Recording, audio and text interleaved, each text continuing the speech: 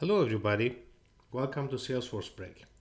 Today I'm going to show you how to expose a Salesforce flow to external users using a Visualforce page and sites.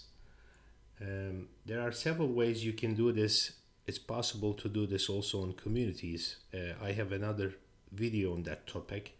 Now today I'm going to share you how to do this on a Visualforce page.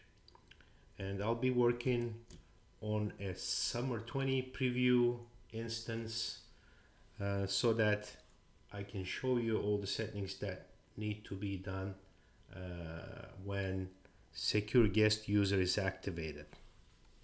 As you know, there are some changes with Summer 20 that are coming uh, related to security that we need to uh, make sure we are aware of and you know we do the settings uh, accordingly. Now I have a Salesforce uh, flow here that I have set up. I'm going to reuse the same flow that I used for the other video on communities. I set up a buy ticket in summer 20 uh, flow. It's a very simple flow. There are several versions of it. This version that I have active right now is running on default mode. This is what we're gonna use It's a simple flow that is displaying a screen and asking the user to enter a 10 digit phone number for the mobile phone. It gets the contact that matches that mobile phone number and it creates a ticket. A ticket is a custom object that I've created which only has a couple of fields uh, and it has a lookup field to the contact and it's going to display a success message uh, similar to this one right here displaying the record ID, the contact name and the flow current date and time. Now let's test this one and see how it works. I'm going to enter 555 555 5555 as the phone number. I have a contact on the instance for Lauren Boyle that has that mobile phone number. Now we have created uh, a ticket record with the ID sequence ending with capital I, A, and B. Let's check that's the case. Let's go to all tickets view and T26 is the contact uh, ticket record that we have created uh, with the record ID sequence ending with IAB. So it worked. Now our contact is Lauren Boyle that we are working with and you see we have a, a number of tickets that I have created here for testing purposes. And please also remember that this contact belongs to an account named United Oil and Gas Corporation. This is going to be important in our demo. Now, to be able to expose this uh, flow to external users, what we need to do is we need to go to our um, setup. Let me just close this one right here quick.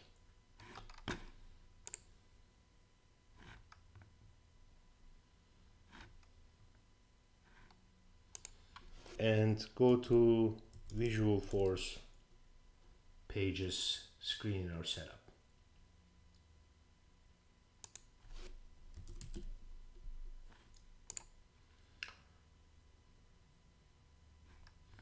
And as you can see here, there are a number of Visualforce pages, uh, but there is one that I have created called Buy Ticket VP.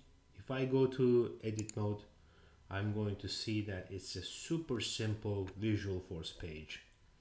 It has a pretty standard header and, and so on. But the, the important piece right here is right this line. It's actually calling a flow by the name of buy ticket in summer 20, which is my flow that I have just shown you. So I'll share this code with you in the comments. You can reuse it. Just make sure that you replace this part right here with your own flow name. Now there are not too many options or checkboxes here, but I activated also available for Lightning Experience on this Visualforce page. So we can preview this using this button and then we see that the flow runs on the Visualforce page. Now to be able to open access to external user to allow them to run this flow, uh, I go to my sites.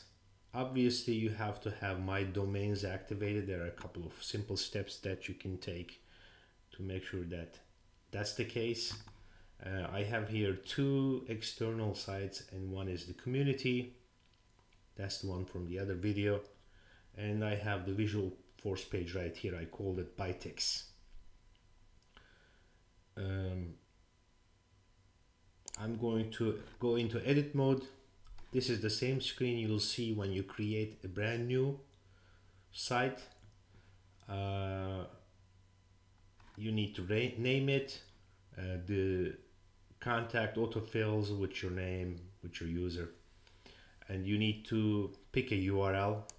So I chose to append the URL with Bytex. And this is going to show up empty, right?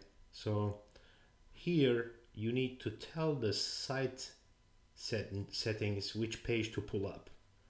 And the home page is going to be your Visualforce page. You go into search, look for by in the name, and then this is the page I want the site to run. And I left pretty much everything else standard and save this one. Now another very important setting that you need to check here is the public access settings. This is going to tell Salesforce uh, what access the guest user is going to have. You see here, this is for Bytex guest user profile. You can go into edit mode. What I have done here, I need to make sure that run flows is activated. This is very important. I have given read access to accounts and contacts. And because I'm creating the custom object record ticket, I gave read and create access to the guest user. Save this one. Well, there's one more step that needs to be taken as well. Um, let me just uh, open another setup dialog here. Uh, this one is going to be for sharing settings.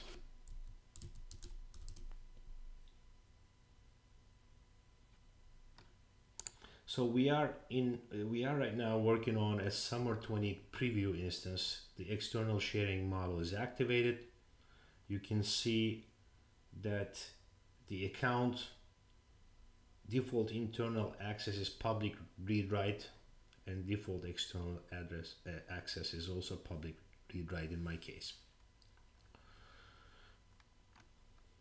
And you see that the secure guest user record access is activated. Now, in this case, what you want to make sure is that you set up sharing rule for the contact uh, so that the guest user on the Visualforce page and site can access this account and the contact. Now, because here the contact access is controlled by parent, I need to set up the sharing rule for the account. And this is how I do that. Let's call this account sharing. And then I need to choose, select your rule type uh, here as guest user access based on criteria and I'm going to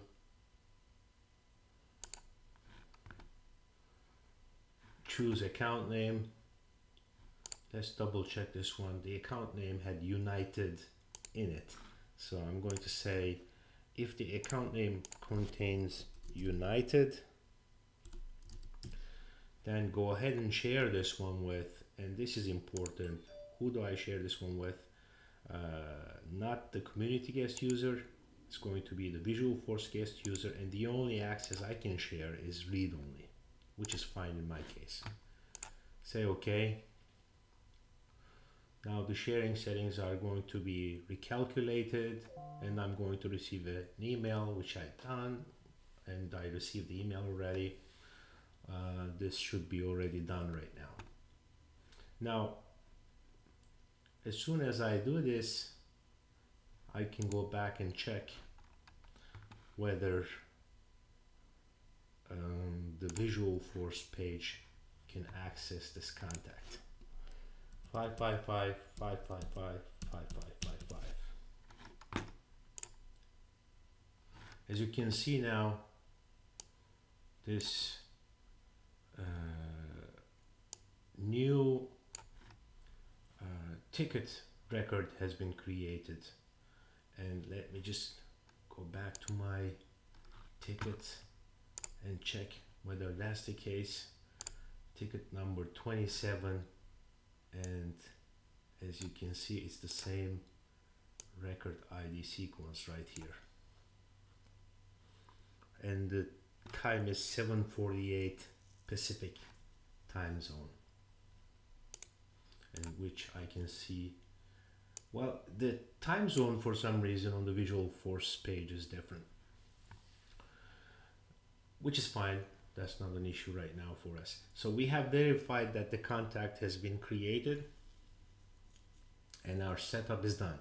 So we can continue using this site for external users. We can actually uh, include this on a website, give direct link, uh, and uh, have external users create tickets using this flow.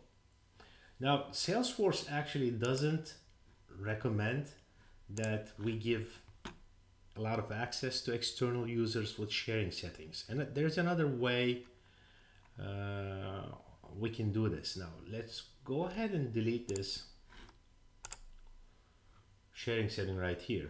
So now we stopped sharing accounts uh, with external users, there is absolutely no sharing settings for accounts and contacts, sharing rules. So what I'm going to do is I'm going to go to, uh, let me close this one. I'm going to go to my flows and I'm going to use the brand new functionality that came with Summer 20 that allows me to run a flow at the system level without sharing which means my flow is going to run at the system level ignoring all the sharing rules and provide access at the system level. Now this is adjusted right here. You need to choose system context without sharing so, and you can see right here that this flow is running as system. Let's go ahead and activate this flow.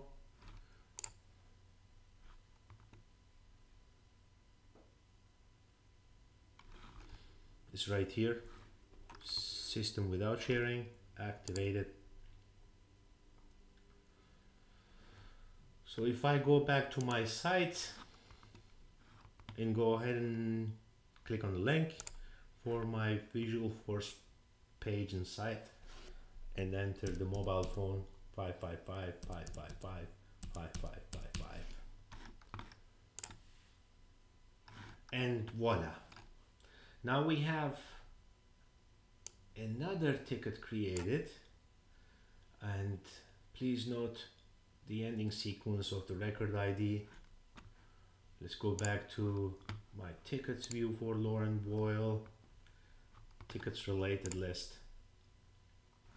And we have a uh, ticket 28 uh, and the record ID sequence is right here. And it is the same. Um, thanks for watching guys. Enjoy.